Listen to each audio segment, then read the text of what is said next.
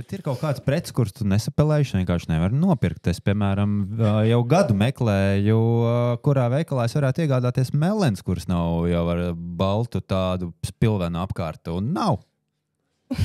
Tas ir tāds specifisks lieta šīm mīkstajām ogām un nogām pašām par sevi. Tur ir produktiem, kas ir salīdzinoši īsts šis realizācijas laiks. Ir.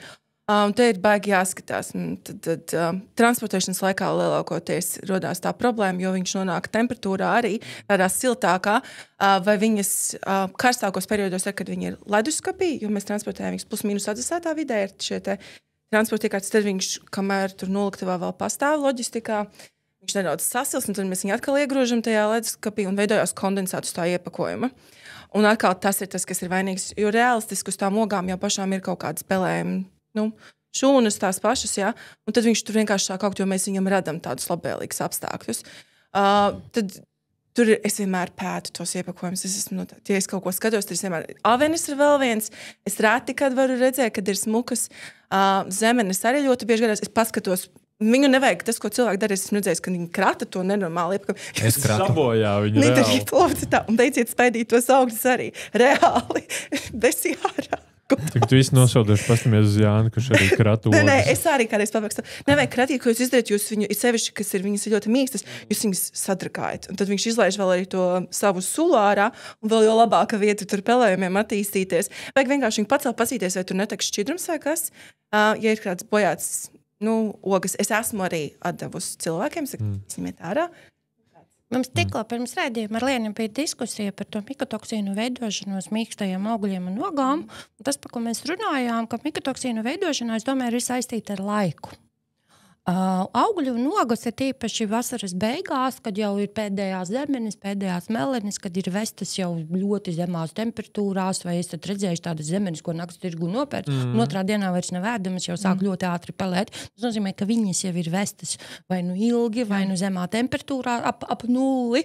Un tikko tu viņus noliec siltumā, tas pelējumam ir uzreiz barības vielas. O, ogu struktūra ārējā virsma, kad ir sadragāta, gan tiem, kas krata, gan pārberot un sverot.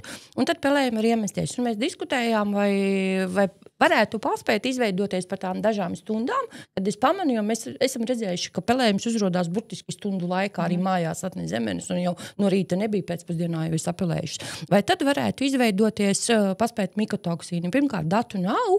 Bet nu, mm. teorija liecina, ka varbūt pat tām pāris stundām nepaspēja tik daudz izveidoties, lai nodarītu reālu kaitējumu.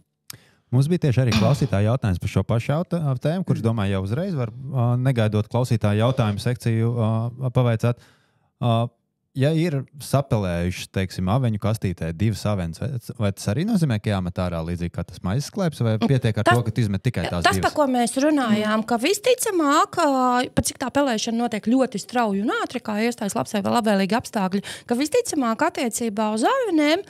Teorētiski nevajadzētu tik strikti skatīties kā uz maizi, kur tā pelēšana notiek 3 līdz 5 dienās. Un ka te iespējams, atkarībā no cik blīvi un cik liels tas pelējums, ka tās divas avenes no kastītes varētu izņemt un pārējās ēst. Bet arī baigi jāskatās līdzi, vai pārējām jau nav pelējuma tā pirmā migliņa parādījusies. Nu, domā līdzi. Jā, tu varēsi redzēt. Un tad vēl par šiem piektajiem augiem, ko es parasti iesaku, kāpēc viņi ļoti ātri arī sapalē mājās, atvedot, ir, ko cilvēki izdara. Viņi nopērk veikalā un to kastīt nomazgā un tad iegrūž atpakaļ sev leduskapī. Uh, es pati, piemēram, nekad nemazgāju. Es pirmkārt viņu atsevišķi, lai viņš nav maisā. Uh, nu, nekādā tikai tā kastīte, varbūt pat citreiz noņem to vāciņos, lai viņam ir labāka tā ventilācija. Es viņus nomazgāju, Nu, labi, viņas ir jāizlieto parasti nākamajā dienā, bet es viņas nomazgāju tieši pirms es viņas ēdīšu. Jo atkal, sāk, mēs nomazgājam, viņas nekad neapžūst. Līdz ar to tur ir fantastiska vieta, apstākļi mēs esam uztaisījuši, lai tie, tie spēlējumi gribētu dzīvot. Tāpēc viņi vēl ātrāk bieži nu, sabojājās. Šī stratēģija strādājas, dara tieši tāpat. Jā, es mm. tādu ir gadiem. Man ilgāk stāv. Līdz sevišķi tas, kas ir nopirkts vai nu pie veikaliem, vai aizgājuši uz tirgu, jo ir silts arī. Um, tad, jā.